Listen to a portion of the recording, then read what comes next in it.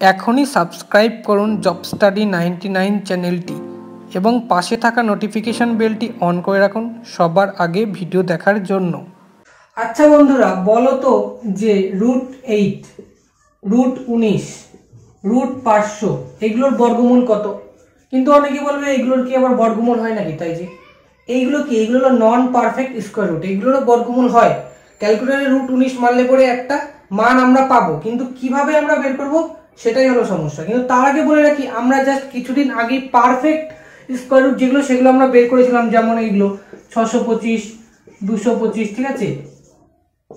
এই সমস্ত যে বড় বড় সংখ্যাগুলো এটা তো এমনি হয়ে যাবে, যে বড় বড় সংখ্যাগুলোর বর্গমূল কীভাবে বের করতে হয়, সেটা আমরা শিখেছিলাম কিছুদিন আগে। তোমরা চাইলে দেখতে পারো, কিন্তু আজকের সমস্যাটা হলো এইগুলো, ঠিক আছে? এগুলো নন পারফেক্ট বলা হয় এগুলোকে। এইগুলোর বর্গমূল আমরা কীভাবে বের করব? মাত্র পাঁচ সেকেন্ড সময় লাগবে ম্যাক্সিমাম টু ম্যাক্সিমাম এটা ট্রিক্স আজকে আমরা শিখব, ওকে? তাহলে চলো শুরু করি। ওকে, দেখো এখানে যে সংখ্যাটা আছে রুট এইট এটা কি নন পারফেক্ট স্কোয়ার রুট এরকম ধরনের প্রবলেম করার আগে আমাদের যে জিনিসটা মনে রাখতে হবে, সেটি হলো এর কাছাকাছি একটা সংখ্যা নেব যে সংখ্যাকে আমরা খুব সহজে বর্গমূল করতে পারি। তাহলে এর কাছাকাছি সংখ্যা কত? এর কাছাকাছি সংখ্যা নিশ্চয়ই রুট নয়। ঠিক আছে? এবার রুট নয় মানে কত? রুট নয়ের বর্গমূল কত? তিন, তাই তো? এবার দেখো এখানে ছিল আট, আমরা নিয়েছি নয়। অ্যাকচুয়ালি কত বেশি নিয়েছি? এক বেশি নিয়ে ফেলেছি। তাই আমাদের ব্যালেন্স করার জন্য এক কমাতে হবে। তো এখানে মাইনাস এক দিলাম। এবার ট্রিক্সটা হলো এখানে দেবো বাই এখানে যে সংখ্যাটা হচ্ছে সেই সংখ্যাটা ডবল সেই সংখ্যাটা ডবল এখানে বসাবো। এটা ডবল কত? এটা ডবল হলো ছয়। রাইট এবার এটা আমরা খুব সহজে ক্যালকুলেশন করতে পারি। তাহলে এটা হলো আঠেরো মাইনাস এক বাই ছয়, এটা মানে সতেরো বাই ছয়। এটা আমরা যদি ক্যালকুলেশন করি তাহলে কত হবে?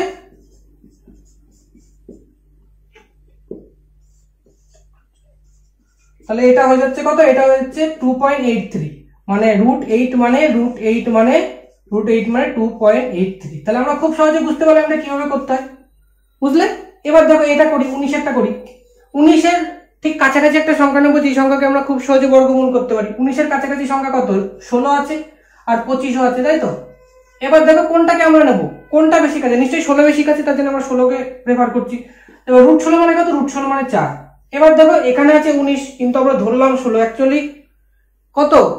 এখানে আছে উনিশ, এখানে আছে ধরলাম ষোলো, এবার ষোলোর থেকে উনিশ হতে গেলে আমাদের আরও তিন যোগ করতে হবে তো, তার জন্য এখানে প্লাস তিন।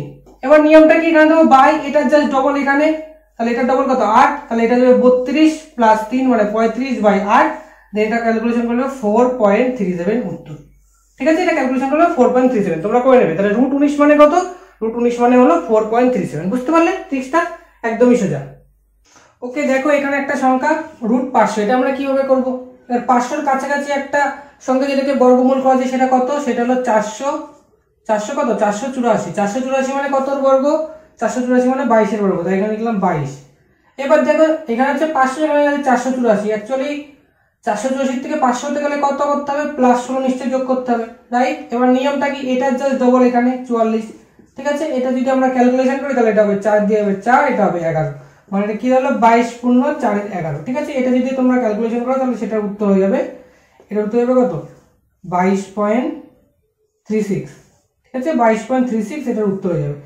এবার এটা তোমরা করবে, ঠিক আছে? দেখো এরকম ধরনের নন পারফেক্ট স্কোয়ার রুট আমরা কেন শিখছি? এটা তো ডাইরেক্ট কোশ্চেন পরীক্ষাতে খুব কম আসে, কিন্তু অনেক অনেক প্রবলেমে কোনো কোনো অঙ্কে এরকম ধরনের প্রবলেম কিন্তু তোমাদের ফেস করতে হতে পারে। তার জন্য আমাদের ট্রিক্সটা শিখে রাখা প্রয়োজন, সময় বাঁচানোর জন্য ওকে এবার তোমাদের দেখো তিনটাই ভাগ দিয়েছি এটা তোমরা নিজে ট্রাই করবে। এক নম্বর হলো রুট সাতাশ, দুই নম্বর হলো রুট তেপ্পান্ন, আর তিন নম্বর হলো রুট দুইশো পঁয়ষট্টি। এটা তোমরা নিজে ট্রাই করো, ঠিক আছে? কোনো অপশন দেবো না নিজে ট্রাই করবে আমি আমি কিন্তু দেখব, ঠিক আছে?